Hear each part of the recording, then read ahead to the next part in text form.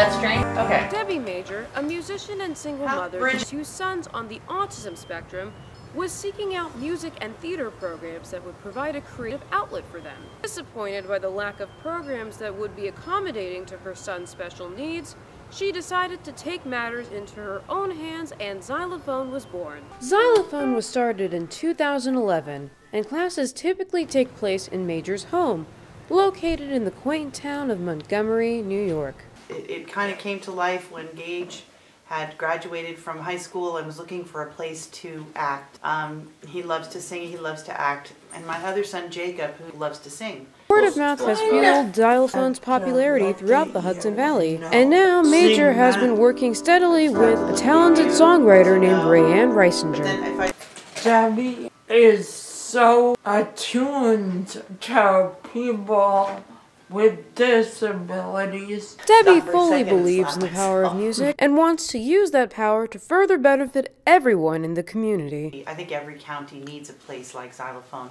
where it, where anybody that has a special need can be creative just like everybody else